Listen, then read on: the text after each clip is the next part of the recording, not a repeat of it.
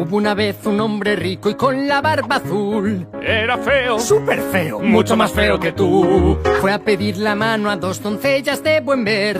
¿No ha tenido siete esposas? Yo no me caso con él. Se las lleva de fiesta, se lo pasan genial. Ya la pequeña al casarse no le parece tan mal. Se casaron felices, beben vino y champán.